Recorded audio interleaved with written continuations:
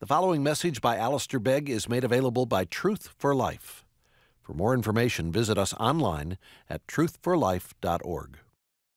Father, we stand before you in the awareness that our need is great, greater than we understand.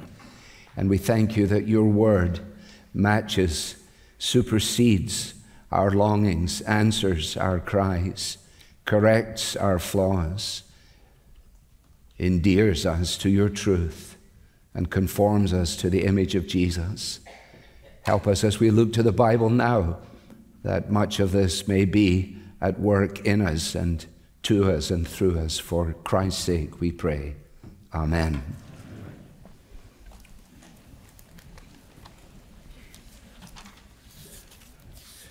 Well, let me encourage you to turn to Jude. If you're visiting with us, we've been studying this for some time. We've come now to verse 24, which reads as follows Now to him who is able to keep you from stumbling and to present you blameless before the presence of his glory with great joy. Well, that's our text. There has been a fair amount of conversation in the press lately, I'm sure you will have noted, about whistleblowers about what a whistleblower is, about how dangerous it is to do, and how often uh, they are on the receiving of all kinds of allegations. I suppose it was that in my mind that as I was driving around this week, I said, you know, in one sense, Jude was actually a whistleblower. He was, if you like, uh, a theological whistleblower or an ecclesiastical whistleblower. He was identifying for those to whom he wrote the existence of error in their ranks. Uh, people, as we've discovered in studying this, had crept in unawares, and he identified this as a clear and present danger. And as a result of that, he has written this letter in a way that takes on the challenge and seeks to encourage people to be alert to the problem. He blows the whistle. His readers, we found from the very beginning, are those who are in Jesus Christ. They are the called, the beloved of God. Uh, they are kept for Jesus. They are on the receiving end of the abounding love and mercy and peace of God Himself. And that's how He had begun in verses 1 and 2. The body of the letter, then, as we have discovered, has been taken up with showing how the ungodliness, the blasphemy, the immorality of what is then present in these congregations actually mirrors events that had taken place long before.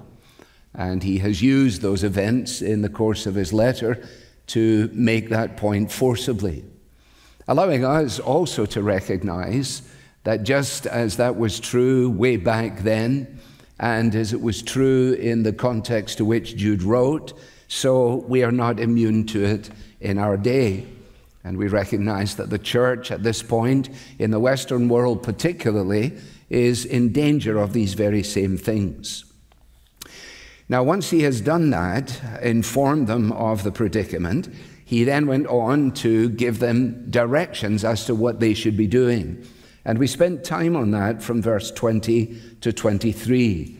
He has said to them, I want you to keep yourselves, to stay alert, to have mercy. You know that the scoffers have been predicted, and make sure that you do not succumb to their insinuations. Well, that was then in a whole series of imperatives, actually, in verses 20, 21, 22, and 23. If you like, he's been saying, This is your work as the readers. And then in verse 24 and in 25, he is going to remind us, assure us of the work of God. And in this way, uh, the letter, if you like, comes full circle. He returns to where he'd begun. Uh, God keeps you. You need to make sure you have a part in this. But if you've been vacillating at all, you should be absolutely certain about the presence of God and the work of God. And so verses 24 and 25 are essentially a doxology. They're not really a benediction, Um, it's an expression, a reminder, if you like, of what is at the very heart and center of the Christian life. And as we come to these two verses, it confronts us, I think, should confront us uh, with the question just how are we doing? How are we doing in this great adventure of the Christian life? Those of us who have taken seriously the call of Jesus to repent and to believe the good news and have become his followers. I wonder, can I ask you, do you ever feel like quitting? Do you ever find yourself somewhere along the line saying, you know, maybe I ought to make a run for the border? Maybe there is a place for just lying down in the grass. In the great cross country run, if you like, of the Christian faith, do you ever wonder if you're going to make it to the finishing line? And if so, how will we make it to the finishing line? How will we be able to breast the tape, run right through, continue to the end? Well, that is the encouragement that comes in verse 24. Now, to him, he says, well known verses. In fact, if people know only a couple of verses out of the, the, the, letter of Jude, then they will know these two. And often you will find that they're preached on their own without any reference to the context. That's not illegitimate to do. We've chosen not to do that because I think the amazing brightness, the reality, the, the forcefulness of verse 24 and 25 stand out best against what is a dark and a dangerous backdrop as described in the, the body of the letter. Most treatments of Jude, as we have tried to tackle Jude, most treatments of Jude in the commentaries actually breeze through verses 24 and 25. You find that a number of verses are taken um, at great uh, length, and yet when it gets to the end, it's almost as though uh, the writer has decided, well, everybody knows verse 24 and 25. There's no reason to uh, spend any length of time on that at all. But I decided, no, I don't want to breeze through these verses. In fact, following the pattern of the Puritans, uh, I told my colleagues during the week, last Monday actually, at our team meeting, I said, I, I'm going to design a plan to cover these verses in a whole series of sermons. And so I came up with 15 sermons. but I've decided only to use two. You'll be relieved by that. The first one, tackling verse 24, and then, unless I change my mind, the second one in 25. So let's look at verse 24. First of all, notice the opening phrase, now to him. To him. Be easy just to slide past that, wouldn't it? But remember, Jude has begun with God. And having found it necessary to mention so much that is unsavory, he then ends his letter by establishing, without doubt, the one in whom all security, all joy, all assurance is to be found. Uh, Jude knew his Bible, he knew the Old Testament. He knew, for example, uh, the psalmist declaring, I bow down toward your holy temple and give thanks to your name for your steadfast love and your faithfulness, for you have exalted above all things your name and your word.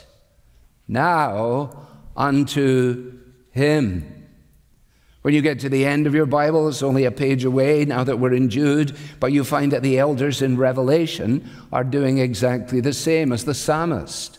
They recognize that all of human existence is from and directed ultimately to God.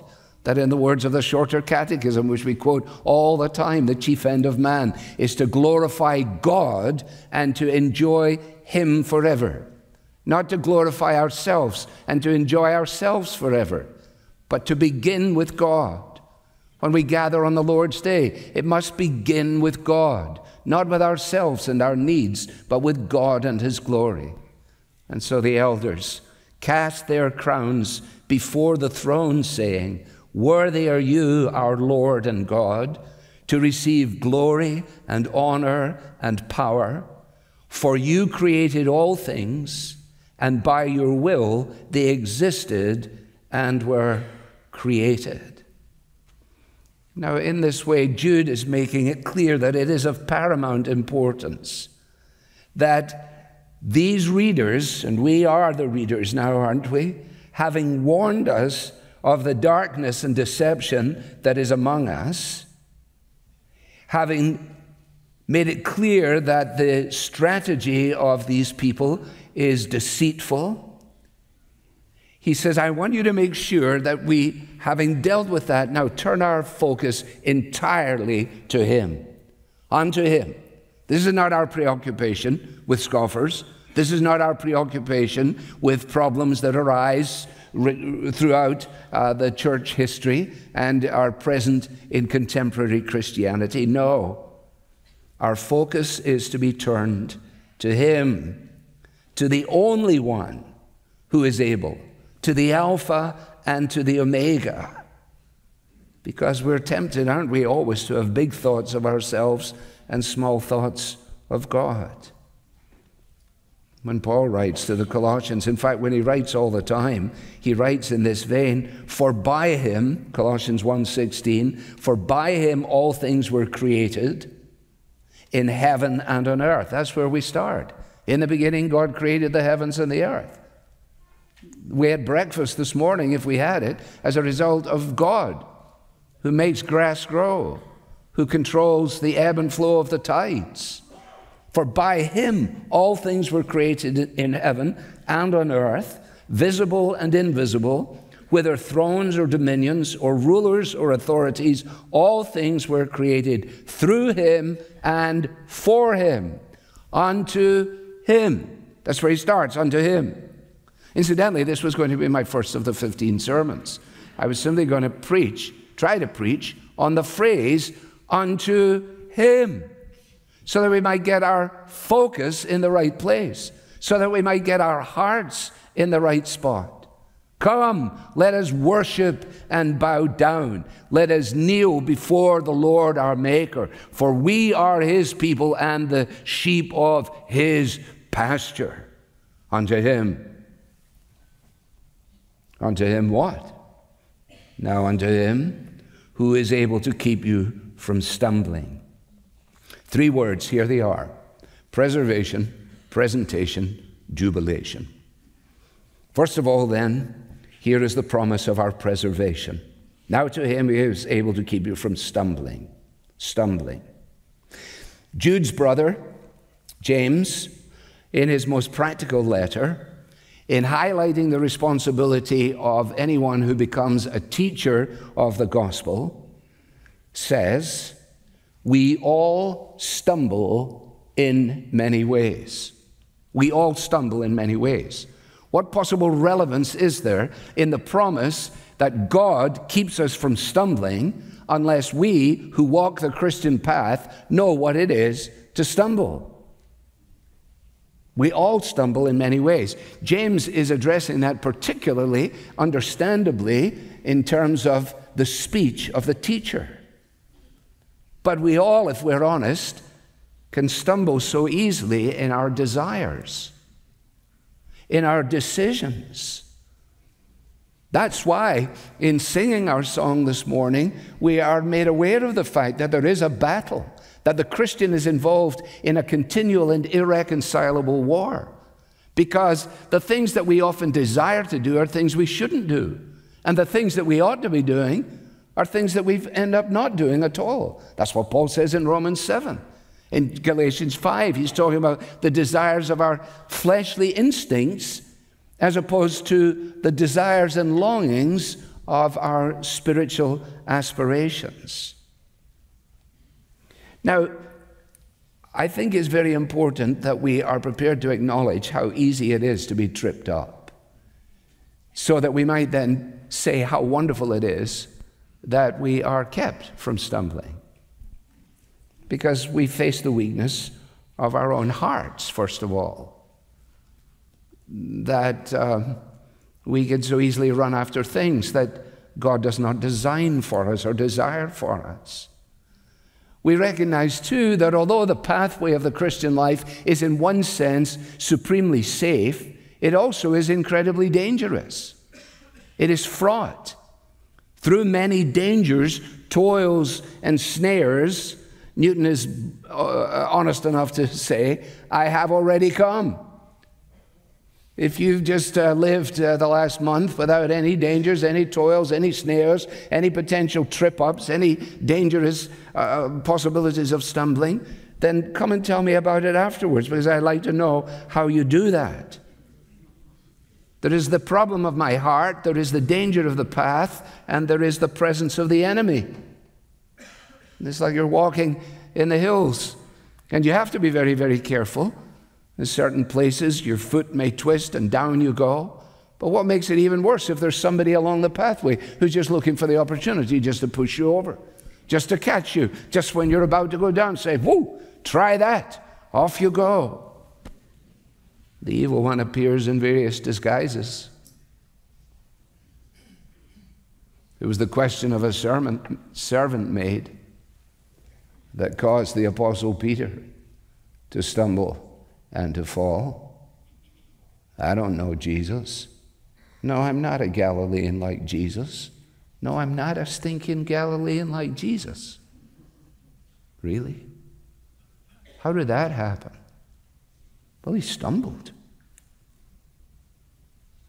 God is able to keep us from stumbling, catches us on the way down, prevents us sometimes, always picks us up.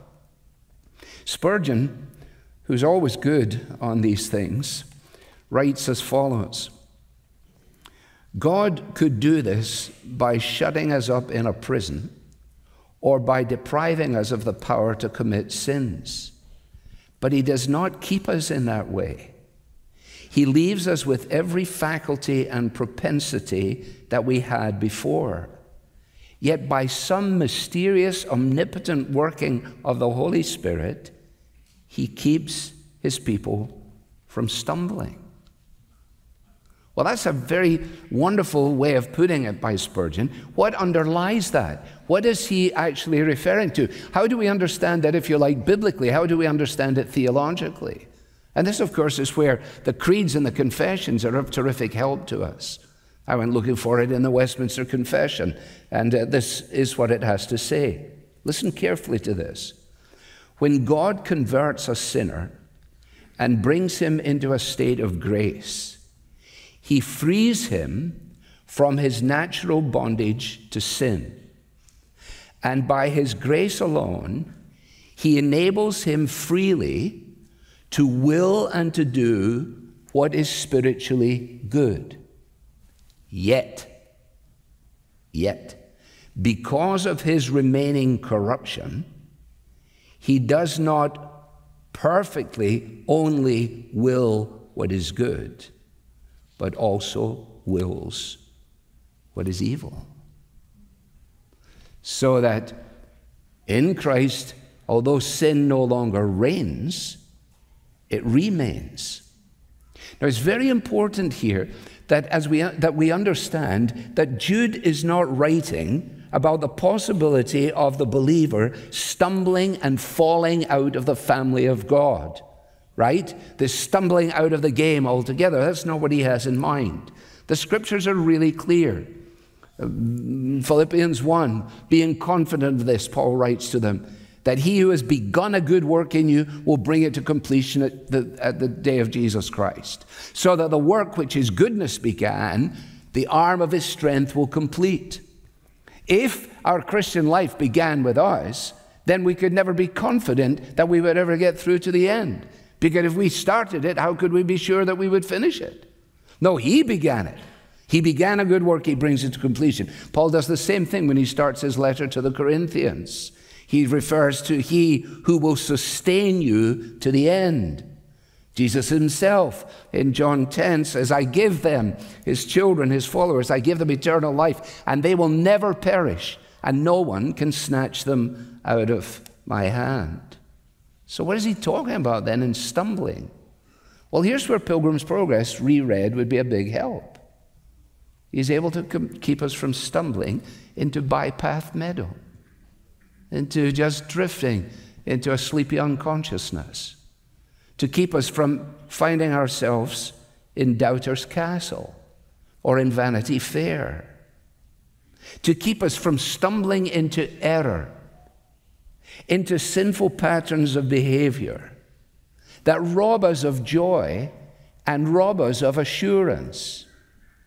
If I am being deliberately disobedient to the clear instruction of the Bible, then I ought not to have a deep sense of assurance. Because disobedience and assurance do not go hand in hand. It is into that disobedient heart that God may come to send a friend or a neighbor or a colleague, whatever it might be, and waken us up and grab us by the elbow. You see, these individuals who have been on the receiving end of these people with their various dreams and fancies and immoral suggestions, Jude recognizes that some of them might easily have stumbled into these environments. And he says, Now listen, before any of the rest of you start to do that, you need to know this. Now to him who is able to keep you from stumbling but didn't we just read earlier that we were supposed to keep ourselves? Yeah, that's verse 21. Keep yourselves in the love of God. How are you going to do that? Well, He is able to keep you. So it's the old farmer's prayer Oh God, keep me kept. God provides the means, we use the means. God preserved Noah in the deluge before the judgment of the flood, but Noah built the ark. Now, we have to move on from this, don't we? I, I find myself routinely at the moment, I'm becoming horribly repetitive. I freely acknowledge it. But the, the hymn by Joseph Addison, which was written in the 17th century, sometime in the 1600s, is increasingly one of my favorite hymns. When all thy mercies, O my God, my rising soul surveys. It's amazing. It is truly amazing. How is it that I am here? How is it that you are still here? How is it that we have not shipwrecked along the way? How is it that we have not succumbed to silly ideas and evil propensities in our own hearts? No, it's Him. It is He keeps us from stumbling even when we fancy stumbling. He keeps us. I can't wait to get to heaven and find out what was going on in Addison's life if he's prepared to tell me about it when he wrote the verse that's never sung when in the slippery paths of youth with heedless steps I ran. Thy hand unseen conveyed me safe and brought me up to man. Preservation. Secondly, presentation. Now, to him who is able to keep you from stumbling and to present you blameless before the presence of his glory. You notice the negative and the positive kept from and presented to. That's why we read in Titus, just so that we would be able to consider verse 13, that the believer is waiting for our blessed hope for the appearing of our great God and Savior, the Lord Jesus Christ. And that's what he's referring to here. There is a day when we will be presented. When we will be presented, if you like, this great coming out party, if you like, or, or whatever it might be, in the final graduation where, uh, you know, the tassels would come off on one side and you get to throw your hat in the air, that kind of thing. It's going to be a great event. How will we ever get there? Well, the one who keeps us will present us. He's in charge of the presentation. We're not going to go in there and boast about our background, what we did, what we said, what we gave, or whatever it might be. No, we will always be unto Him, unto Him. You see, if a congregation does not begin with unto Him, it will begin with something else. If when people come to our congregation, they don't say, This must be about Him, then they will start to believe it must be about us. And then we have failed miserably. Miserably. Unto Him, he will present us, present us faultless. You know, when you get an invitation to something, sometimes it comes with a dress code, doesn't it?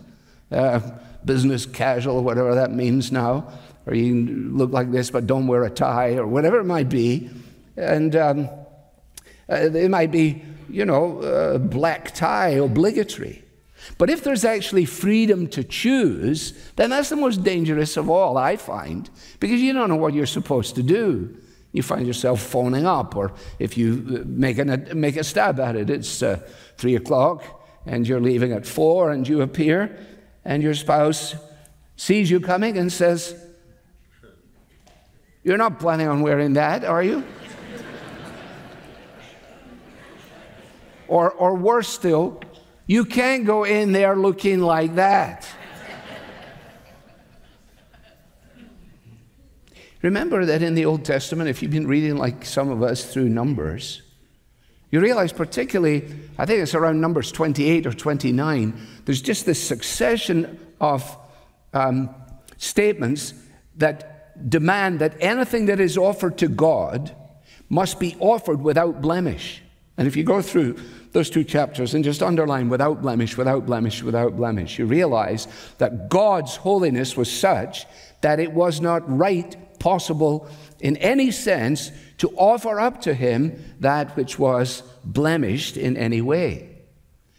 And of course, that actually applied not only to food offerings, burnt offerings, or animal offerings, but also to people. Hence the dilemma of David. Psalm 15 Lord, who may dwell in your sanctuary? Who may live on your holy hill?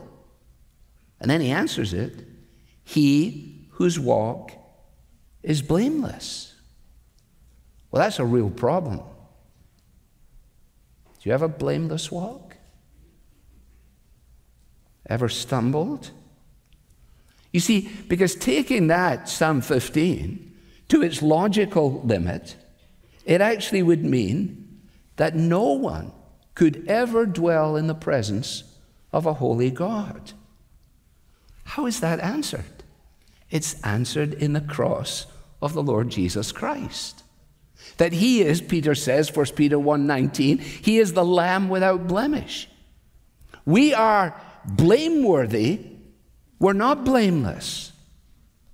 We need a blameless one to take our place, to bear our punishment, to keep the law in all of its perfection, into whom we may be incorporated by grace, so that we might stand in the presence of his glory, complete in him, unto him, in him for him, with him. Now, this, of course, is what the Bible uh, teaches us throughout its pages. It would be easy to stop here. We understand, don't we, justification. That God, of His own mercy and uh, motivated by nothing in us, remits the sins of guilty men and women. And not only does he do that, but he accounts us righteous in the righteousness that is ours in Jesus. Listen to Calvin in a sentence The Son of God, though spotlessly pure, took upon himself the ignominy and shame of our sin, and in return clothed us with his purity. So God receives the sinner only on the grounds of the perfect righteousness of Christ, which is credited to us, imputed to us through our faith in Him. Now imagine the thief on the cross. Remember, he says, Remember me to Jesus. He said, Will you remember me? Lord, remember me when you come into your kingdom.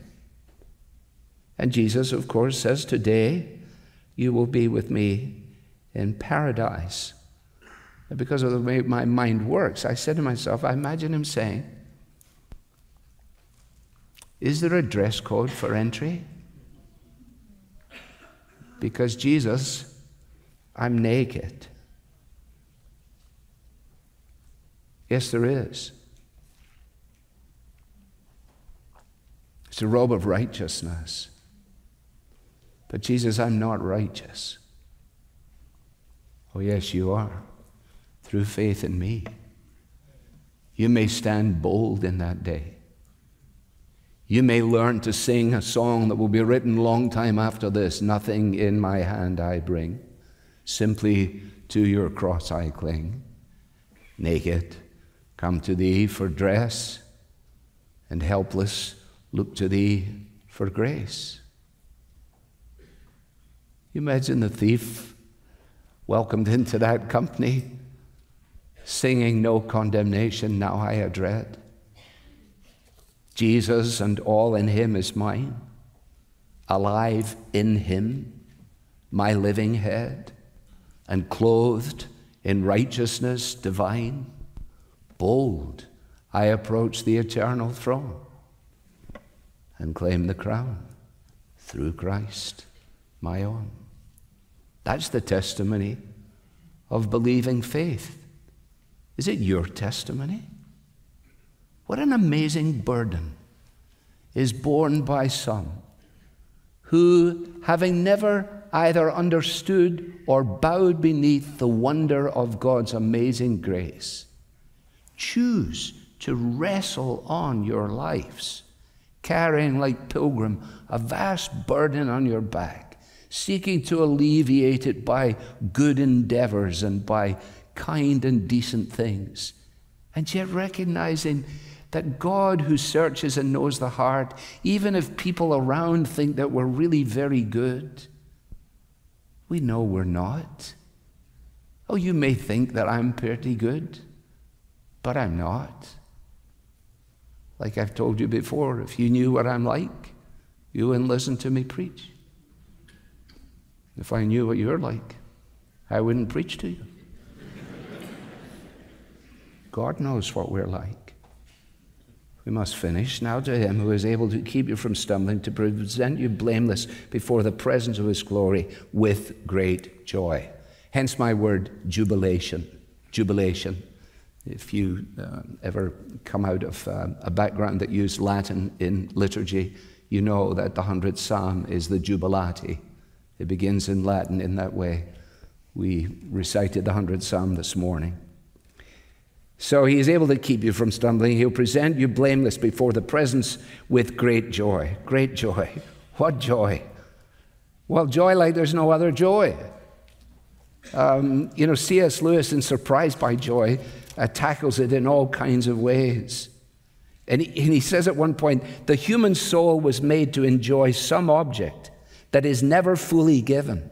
Nay, can't even be imagined as given in our present mode of subjective spatio-temporal experience. In other words, the thing that we long for, the thing that we long for, is actually beyond us. That the solid joys are these joys the joy of sin being gone, the joy of Satan being shut out, the joy of temptation being over forever.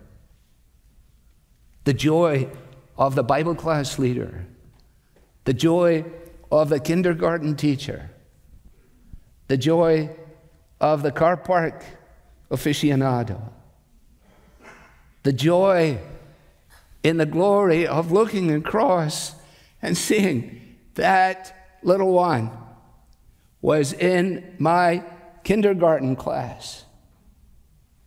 That boy was a pain in the tush, and he was in my Bible class. But what joy is this? That child that I left behind in unbelief, I see across the horizon. What joy is this? The pastor's joy. Here I am and the children you have given me. The joy of the Lord Jesus Himself. The joy of Jesus as He sees the travail of His soul, as He recognizes the wonder of presenting the church, His bride. He will have the prize for which He died the nations. And as I was working on this, I came across Spurgeon making a statement that caught me entirely off guard. And this is what he said God Himself will have joy. God Himself will have joy. I said, Where do, you, where do we go with this? Well, this is what he said it will be infinitely displayed in the presence of all. He's quoting Zephaniah 3:17, "He that is God Almighty will rejoice over you with gladness. He will exult over you with loud singing." What a picture. God running, and then the joy of the prodigal's return, running out to meet him. We know that part, but God singing. Spurgeon writes, I can imagine when the world was made, the morning stars shouting for joy. But God did not sing. He just said, It was very good. There was no song then, but oh, think of it when that great company, innumerable, multinational, shall meet around the throne, the joy of the eternal Father shall swell so high that God, who fills all in all, shall burst into the infinite godlike song. And what will we do? We will say, Unto Him, unto Him, the one who keeps me from stumbling, the one who brings me here the one who presents me faultless and gives me a joy such as no joy could ever have been known, as to quote Lewis, in the spatio temporal subjective experience of living now. That's why you see, we need to say to our friends and neighbors that the, the, the, the longing of the human heart is actually ultimately a longing to know God and to be known by God. And the solid joys and the lasting treasures are only found in God and only found in God's revelation of Himself in Jesus and only enjoyed by those who are prepared to say, Nothing in my hand I bring, simply to your cross I cling. I wonder, have you said that? This message was brought to you from Truth for Life, where the learning is for living. To learn more about Truth for Life with Alistair Begg, visit us online at truthforlife.org.